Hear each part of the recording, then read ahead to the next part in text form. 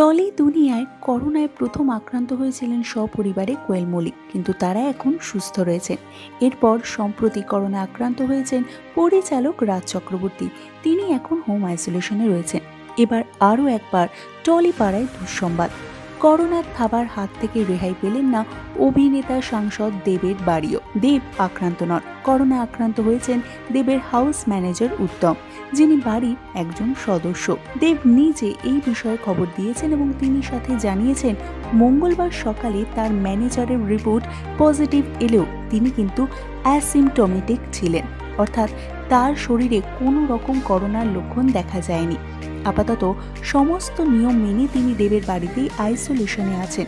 দেব আরও জানান, তার এবং তার পরিবারের সদস্যদেরও করোনার পরীক্ষা হয়েছে, কিন্তু সবারই রিপোর্ট নেগেটিভ এসেছে।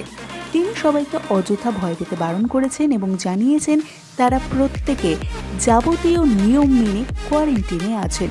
আপনাদের এতে কি মত? কমেন্ট করে জানিয়ে দিন আমাদের চ্যানেল এবং লাইক শেয়ার ও সাবস্ক্রাইব করতে ভুলবেন না বন্ধুরা।